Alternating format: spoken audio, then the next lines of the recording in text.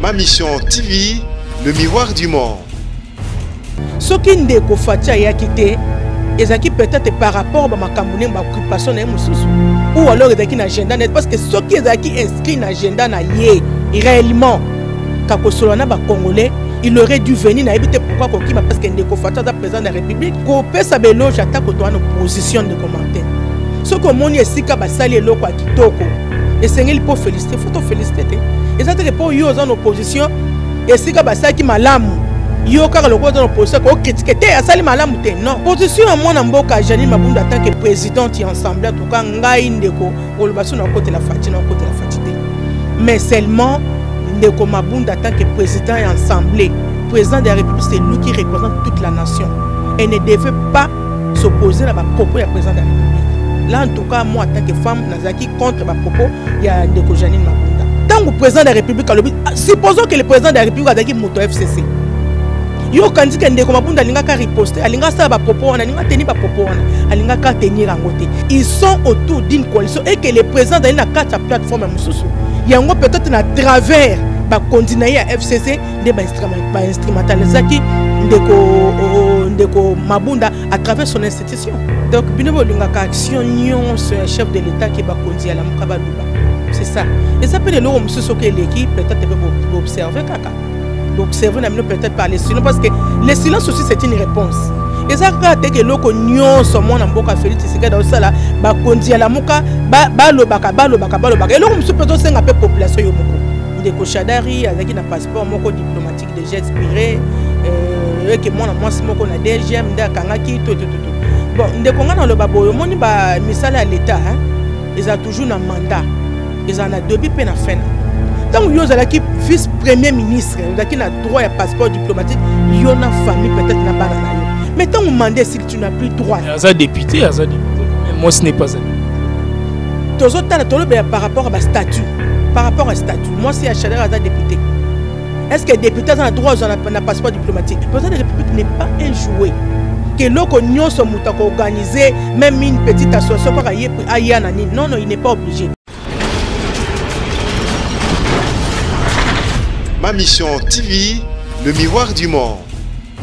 mbote na bandeko nyonso oyo botalaka biso na ma mission tv chaîne ya référence merci vraiment na confiance nyonso bopesaka biso na baémission nyonso tu tolakisa bino partout dans le monde nasi bandeko na biso ya diaspora bozalaka toujours na souci ya mboka na biso république démocratique du congo na baactualité nyonso na mabe naye malamu oyo elekaka vraiment na mboka na biso alors lelo nga martin ngi vitesse ya fise naza lelo na mama denis villa nasik tokolobela vraiment lisolo ya mboka nasik semaine passée tomonaki biso tout ba événement oyo elekaki vraiment na kati ya mboka na biso république démocratique du congo mbote mama denis villa mbote na ndeko martin mama denis boni sante avant tobanda émission na biso nasi bandeko tu baotala biso Donc soki sante eza malamu te moyen pe osala emission eza te.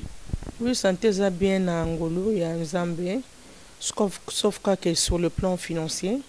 sante ya toke eza mabe nakoloba mabe kaka po na nga te po la plus part aussi des congolais baza ko souffrir lokola nga oyo toza komona vraiment clair te euh, mbongo na circulation ezali te crise tozokende de crise en crise on ne comprend pas pourquoi euh, meme biso baoyo tomeka ata kosala bafaire les affaires ne marche pas baoyo mpe basalaka na basociété baza kolela kaka ba, ba, ba, ba, hein, ba, donc moyen na toloba ezali te donc ndeko martin nzoto toza kolongonu mais so tobi sur le plan financier toza na mwa kokoso kokoso yango ezali kaka ngai te ezali la majorité de la population oyo tomeka kosenga meme na bagouvernement bameka kolembisa mwa singa Bato bameka kofutamaka regulièrement soki circulation ya mbongo eza kotambola. Moto na moto na cas na ye ata ozo sala coop meme mpo o travaillaka mais ata ozo sala coop mwa commerce na yo oko se retrouver na na nini na na na ndenge oyo na ndenge yo o debrouillaka mais tango circulation ya mbongo na pays eza te donc rien ne marche.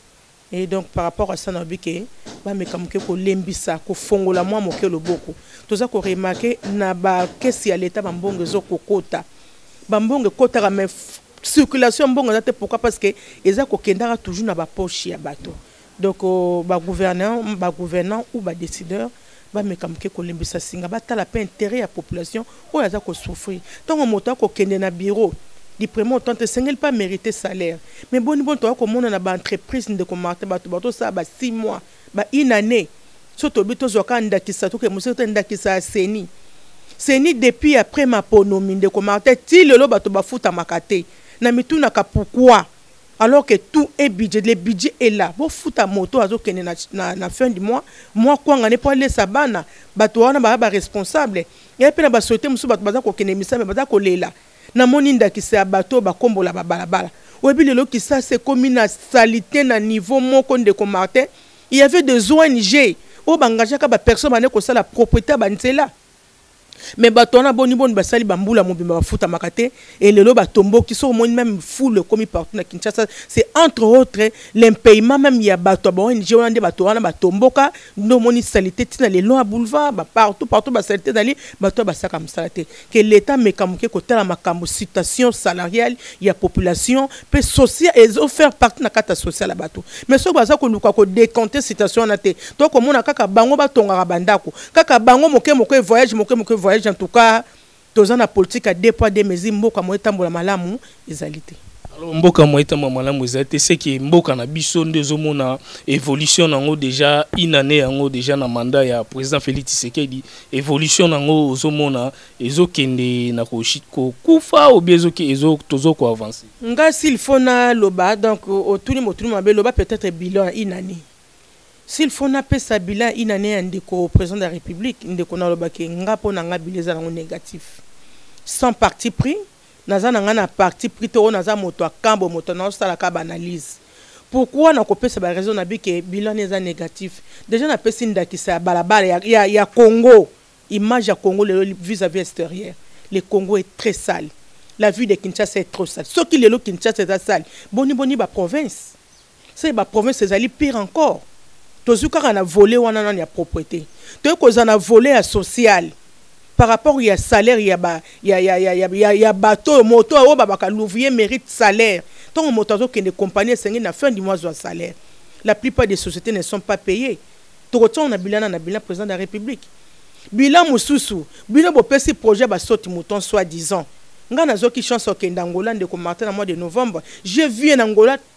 tout le quartier ba saute moto ezali ndeko Felix akenda Angola ayebi eza lokola ka ya biso awa te bolingi bozwa bato une année pleine mosala banda bobandaki bozokoka kosilisa te la population souffre ngai nakoka soki kokende ntango te mes parents sola bana koka soki kokende ntango te parce que soki olobi okende ntango foyeba temps nini okokende ndeko martin namonaki mokolo mosusu nazokende eh, aéroport bandeko moko bazokende voyage oyebi ke ndeko martin bouchon eleki tellement bakanga bavalise bazwa moto bakenda te aéroport likambo ya basoti mouton ezo aportele biso nini au contraire ezo porte kaka misère parce que bato baza kozonga na retard na nzela ya retard bato bakokutana ba insécurité Element mosusu ya bilan negatif na guerre à l'est. Mais peut-être po bazo sala musala bazo tonga lokola mboka eza na chantier il faut tout supporter l'embouteillage wana po bazo tonga maman Denise. Ça a pris trop de temps parce que si le gouvernement était sérieux bazui contrat na bato baza kotonga wana batie ba moyen ça ne prendra même pas deux ans mpo nayoki soti moto meme ya ntiango bakoinaugure yango ntina décembre 2020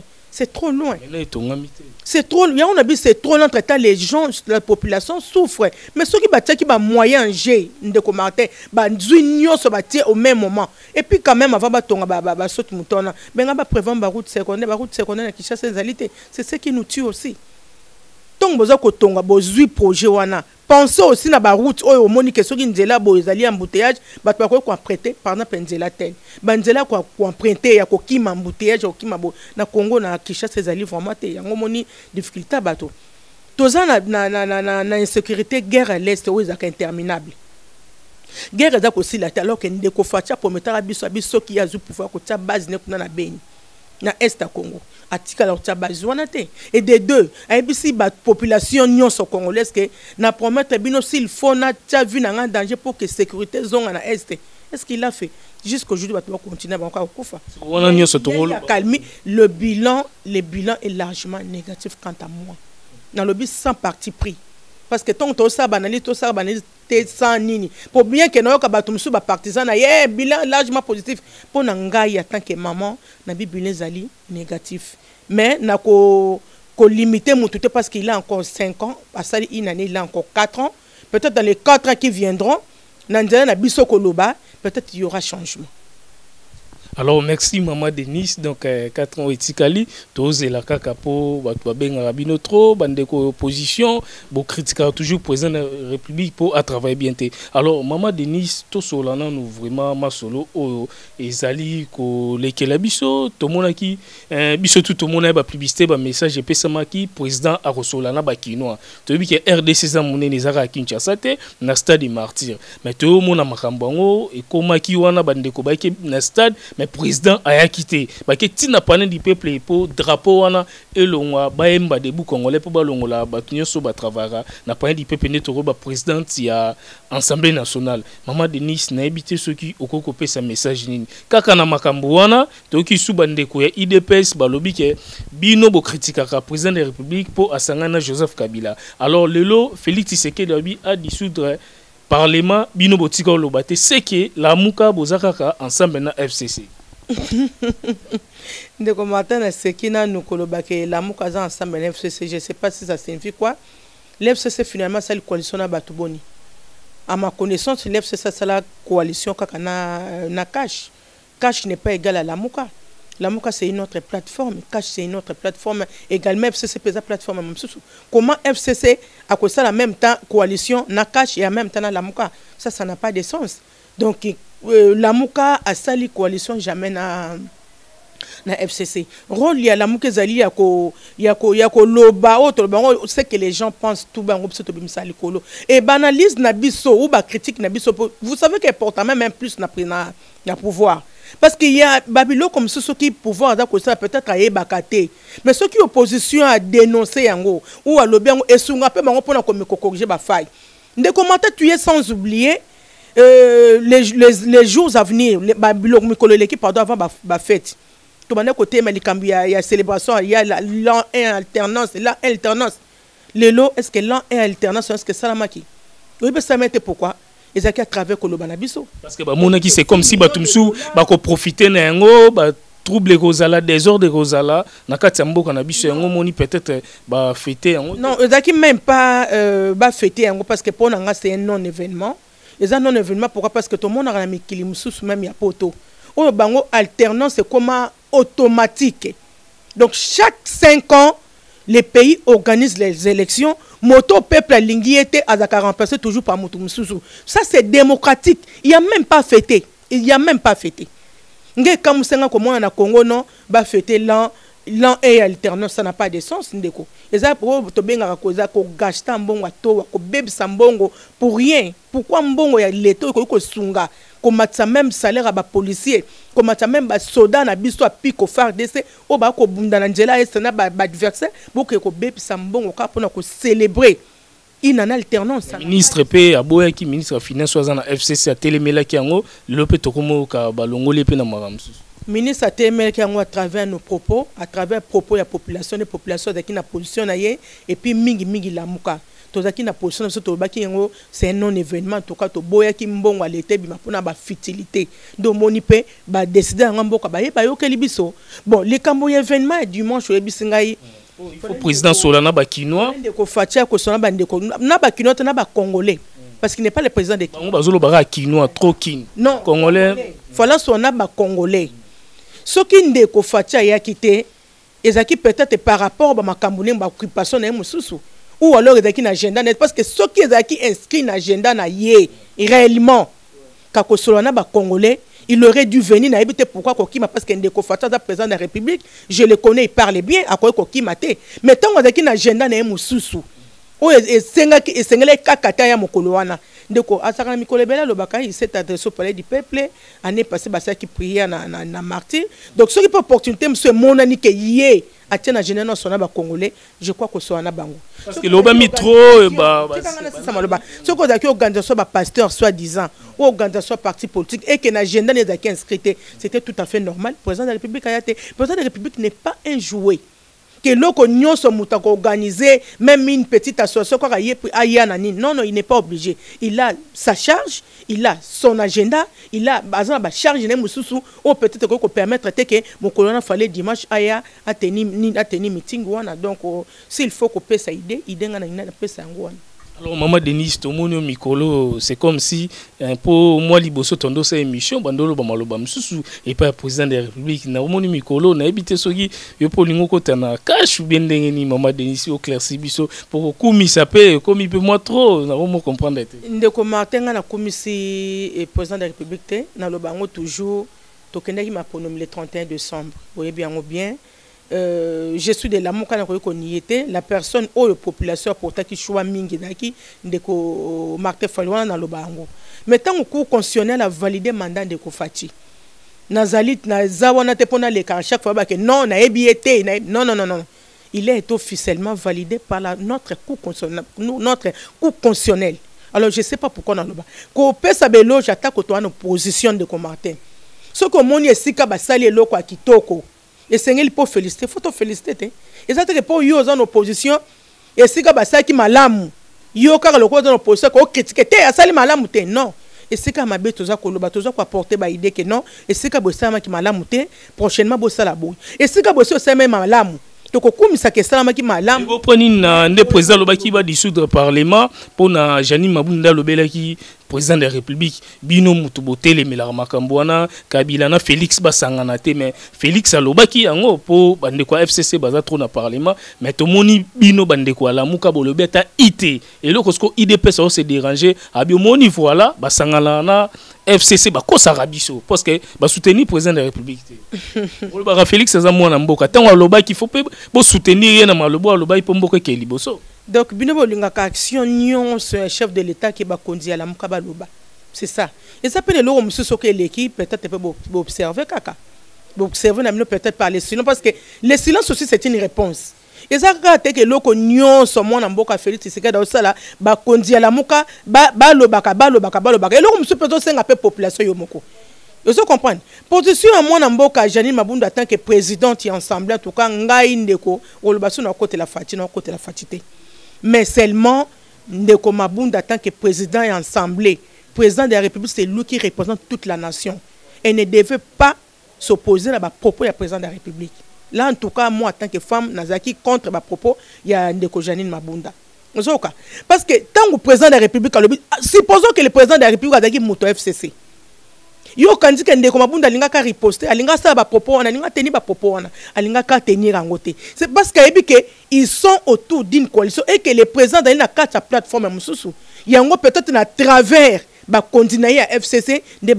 bainstrumentalisaki ndeko, ndeko mabunda à travers son institution je crois c'est ça est-ce que bazo là qui président ya FCC président qui autaki na FCC je ne pense pas que mabunda linga parce que d'après biso batu ba komoka moi yango batu ba olekela ba comment que président lobabwe o oh, lobabwe respect eza na hote na mboka c'est que président Félix Tshisekedi ye mutazo di jemboko te pour ko telemela e eza ebele eleki ebele ko telemela bon toza pe na démocratie ndeko matin hein la démocratie moto azali libre akoloba mabe ya kofinga mais soki ndeko mwana mboka Fatshi c'est un homme comme nous les autres c'est un être humain akoki koloba mpe eloko moko boye soki mpe esepelisi motu te na ndenge akimia moto mpe akoloba te président de république makambo moko alobaki mais ngai namoni kote oyo alobi boye te moi je l'ai dit une fois no ngai bia président chaque fois apesa bapromesse na te arespecta yango te nafingi te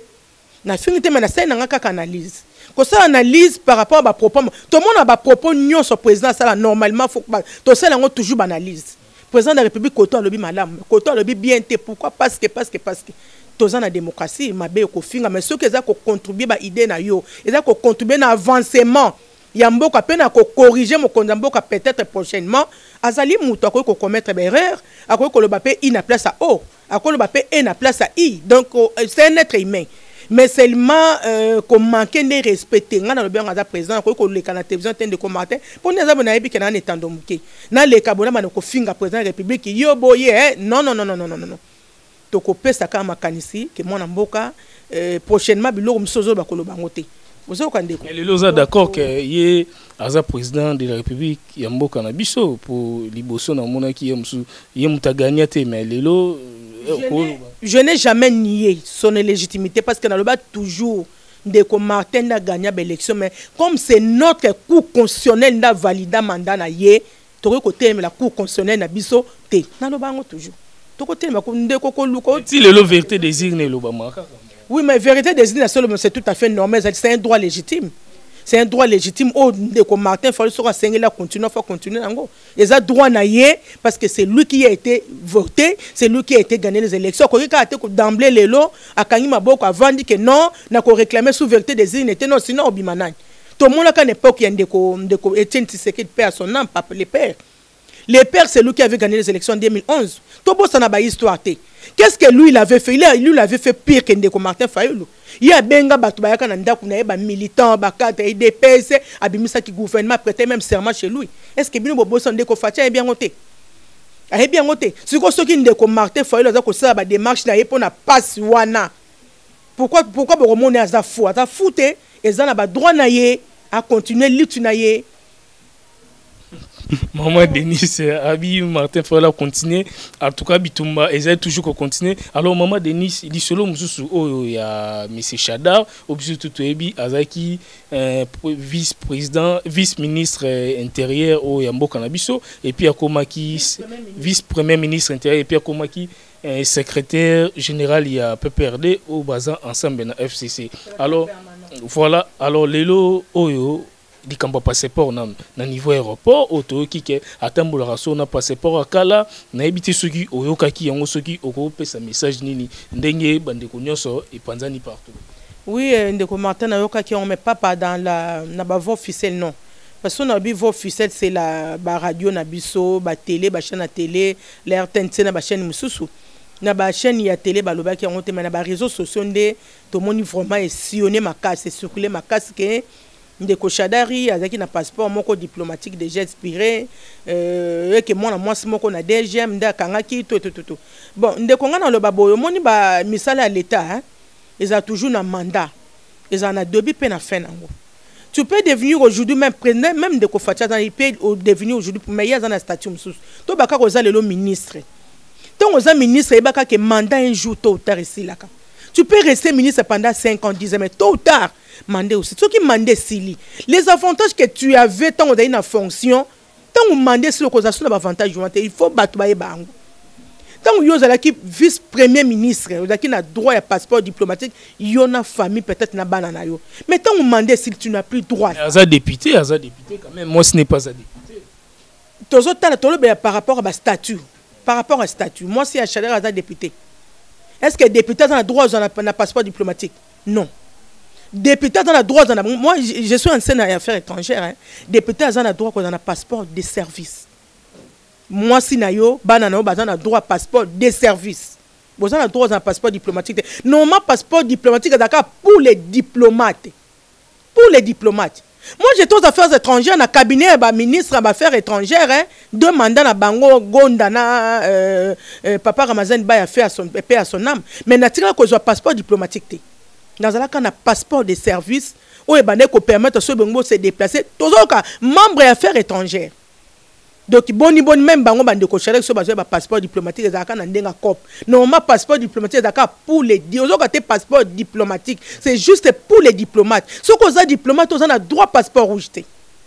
omoni kaka mboka yango nde ekoma yango mboka mbutu mbutu batrafic d'influence nde omoni bapesa bango mais soki manda no esili omoni ke manda esili zwa passeport tia pembeni traite passeport ordinaire Eh, bato ba biso olandeli bien eza mpo ya komotelemela nde président de la république par rapport nde alobaki oyo akosimba albert yuma nde mboka ekoningana peut-être na ndenge abongo nde azo te mpo banda kala babotola ye te lelo ekomi susu ndako oyo afandaka lokola ezalaki ya gouvernement bapesaki ye banda kala longwa ministre ti lelo afandaka na ndako wana babotole ye te ntango kaka abimisi bamaloba wana nde lelo bakomokange passeport bakomobotole ndako donc soki mpe aloba maloba wana te mboka lokola ezokende kaka boye alinga atika nde mpe kaka na makambo wana mama mama denise bon ndeko marton aba pour euh, seka ndeko shadag n'est pas le seul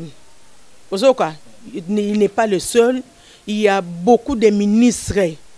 honoraires na kati ya mboka na biso bazofanda na ndako ya leta Ozoka misu pe toyebi bango.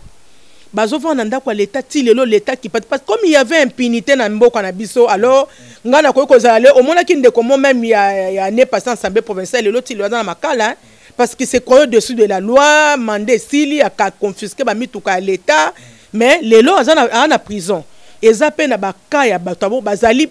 ebele ndeko Shadrack aza ye moko te Nakolinga soki etat de droit reellement eza na kati ya mboka que tous ces gens sont poursuivis bazala poursuivis par la, par la loi. Loi ya mboka na biso kaka nde ekanga bango. Eza likambo acharnement te ko non parce que a dénoncaki président de la République et boye boye nde omoni bakangi ye. Il y a aussi d'autres personnes en dehors ya ndeko Shadari bazali oyo ba ko s'occuper ba ndako ya l'Etat. nga kutu mama ndako lobi na sai komata nga bisa ya non événement parce que chadaka beaucoup de maisons soki ba bengana ndako ya leta aza ba ndako même biso na lingwala awa yebi atongi ba jimele combien aza ba ndako ko ko vendre donc pona wana eza on a problème te mais seulement ba poursuivre pe bato mosusu bango ta mususu ko bengana eza ka poye atelemela ki aloba maloba na nde ba komota ki et suka kaka na ndeko chadaka te c'est un bon exemple pona nga en tout cas le chef de l'état promis les, les stylos rouges Oui, comme les stylos rouges commencent à fonctionner, que les stylos rouges continuent à, à travers les autres personnes et sous kanande ko chadarité ba mosusu pe bazali bazo ko s'occuper na banda ku ya leta eza pe na ba mosusu Marcelin pe chaque nini eh, si chambo tangi pe yete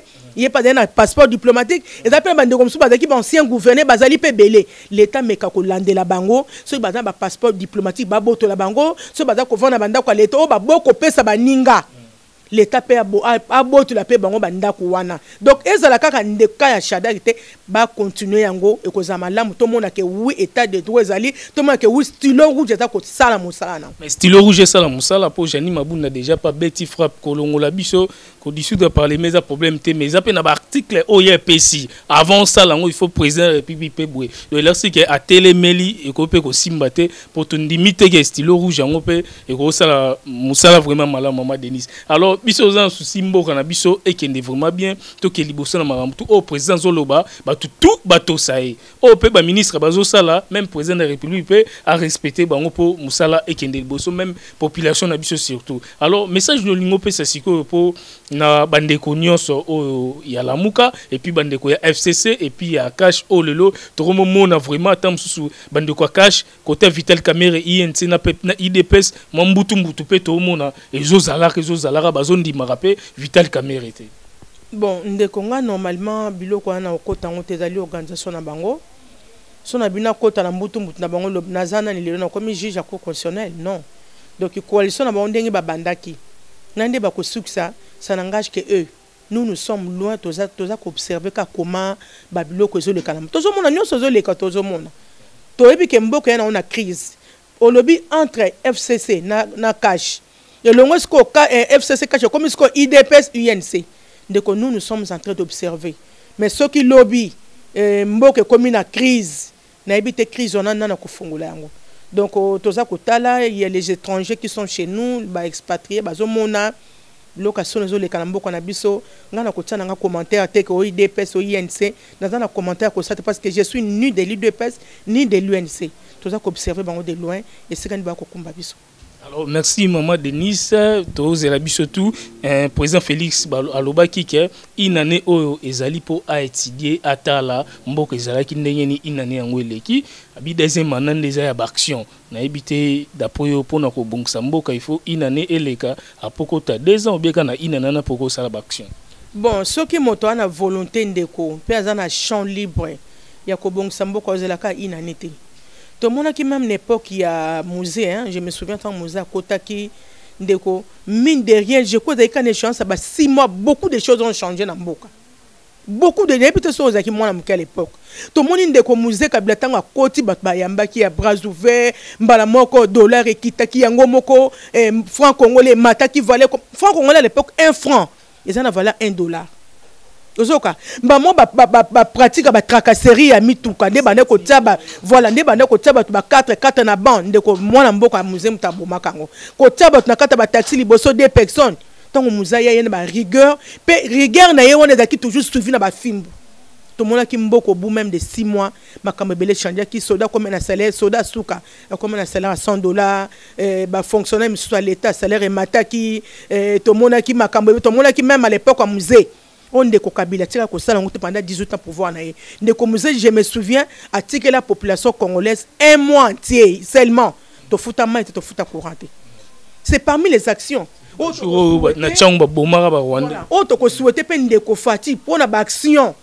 Ça fait partie aussi de l'action na social la population. Que nga lokwa na promettre action. Eza na mois par exemple par na pesa exemple eh, mois na biso to soka indépendant mois de juin. Lokwa to totaliser 60 indépendance année on a 2020 na lingi population na mois de juin mai na ko mofuta. Denis dollar na nozo kita te zaki yo kite mati suma. Parce que wana ko zala profitable na biso. Likamba dollar ko zala profitable na biso te mais soka ti action wana. Lokola enseignement ati yango gratuit tozotala évolution nango. ça profite à la population soki atie gratuité ya mai na courant ne serait ce que un mois ke moa bofuta parce que mai na courant mpe ezalaka charge mpona mabota entre nous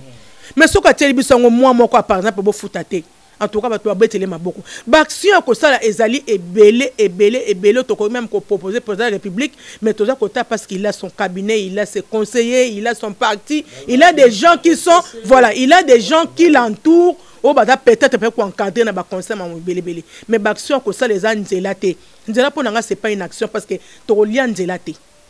baaction fo ezala plus na sociale gratuité oui ça fait partie d'une action si ça réussi en tout cas coup de chapeau c'est une action gratuité ya mai c'est une action Lelo na mboka na biso toya koloba ba courant obike na mboka na biso courant ezalaka te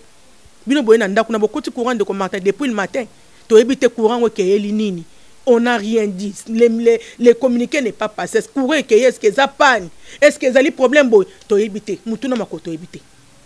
faut ba meka ko bongisa il y a beaucoup de choses dans na chantier ou bazo senga ba bongisa en tout cas il a un grand travail de to bana français il a les pains sur la table boso siko ndeti message au président pesa ki batu nyoso baza na poto ba congolais ba na mboka na bomba ya ko fanda elinga eza ndenge nini